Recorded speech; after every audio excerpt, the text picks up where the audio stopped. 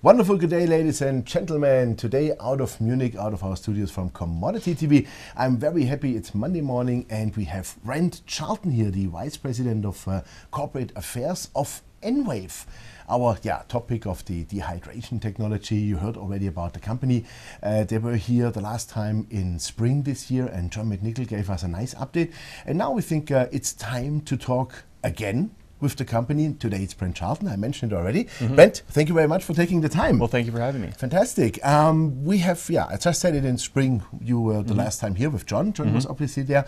And um, yeah, give us a bit of an insight. What happened? Or maybe sh- first, firstly, give us a short overview about the company, and then let's dive into it. What happened sure, since April? Sure, sure, So just to refresh all of the investors' memories, Enwave Corporation is actively marketing a proprietary dehydration technology to major food and pharmaceutical companies. Mm-hmm. We're a licensing and royalty play. So, what we want to do is sign commercial licenses with these large companies and attach a royalty to typically the wholesale price at which they would sell products using our technology.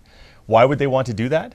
Well, our technology offers significant cost savings, operational advantages, also the product characteristics are very, very attractive, which sets them apart from other, other opportunities. Mm-hmm, mm-hmm. Okay, so you said already the uh, the magic word commercial license. Mm-hmm. Uh, this mm-hmm. implements to me, of course, what happened since April. We, we, we saw some good movements. Mm-hmm. I think you had last week with Campofrio, was the name of the company? You, you right. signed another deal. So can you elaborate a bit about the deals you have done in the last yeah, four or five months? Sure. So I guess I'll start off by saying that we um, we currently are working with a number of very notable companies on an R&D basis. The most recent announcement, as you mentioned, was Campofrio, mm-hmm. one of Europe's leading um, manufacturer of processed meats. Mm-hmm. That's a very important step for us because, again, since we last spoke, mm-hmm. we've signed a commercial license with Hormel Foods, which is one of the predominant meat producers in the U.S., to use our technology produce product, and pay us a royalty. So we see Campofrio as being able to expand on a global basis in that market sector. Mm-hmm. In addition to Hormel Foods, we also signed a commercial license with a food enzyme company based in North America. Very important new market sector to address, very high value end product. Mm-hmm. We also recently signed a commercial license with a spice producer out of California called Napa Mountain Spice Company. Mm-hmm.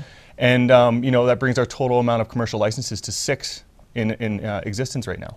So you said you have now yeah six uh, commercial licenses.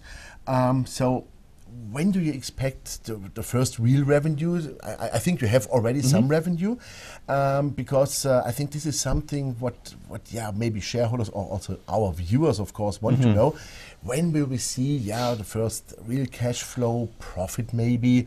Uh, can you elaborate a bit on that? Yeah, we believe that we have the potential to reach cash flow positive territory within the next 18 months. Mm-hmm. Now, we have a second tier one company that is on the verge of making a commercial decision potentially over the next four to six weeks here. Mm-hmm. So if they choose to go forward, that would be a major sign of adoption of our technology, mm-hmm. acceptance of our business model, and for us, obviously, building the foundation for future royalty revenue growth. Mm-hmm, mm-hmm.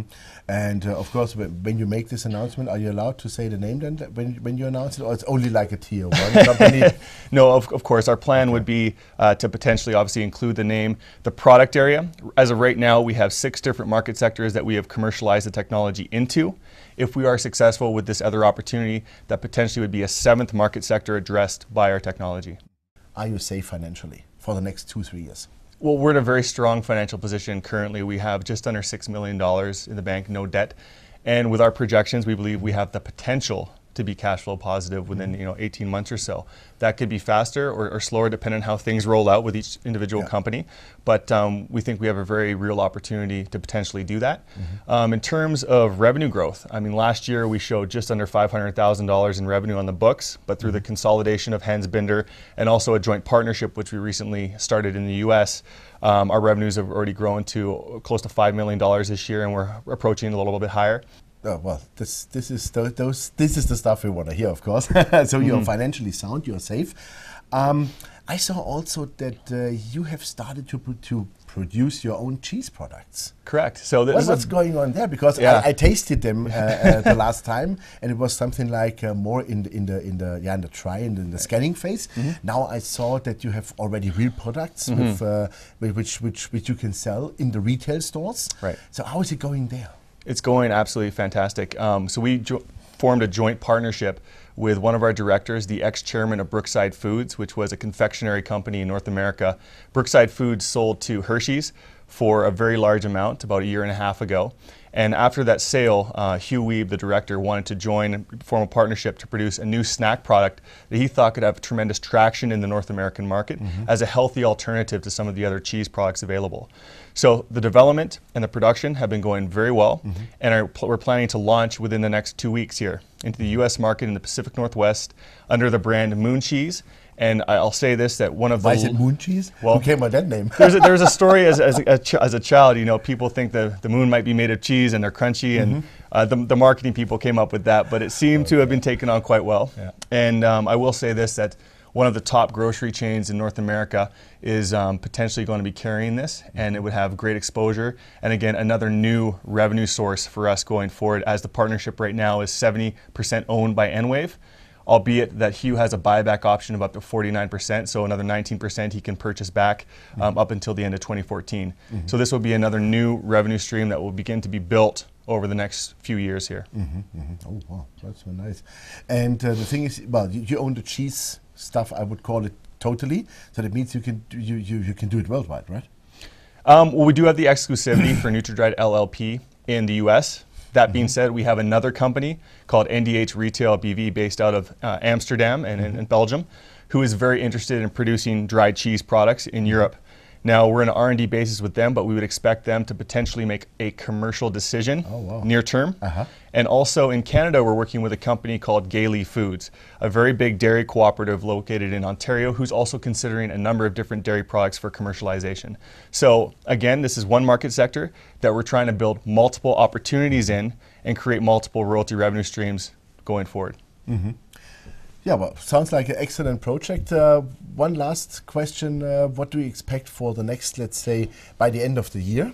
How many, yeah, commercial licenses you think you are able to generate within the, this year and next mm -hmm, year? Mm -hmm. What, what is what is in the pipeline? Um, well, we're very optimistic about our, our, chances to convert additional R&D agreements into commercial licenses. Like mm-hmm. I mentioned before, um, there's a second tier one who's considering making a commercial decision near term.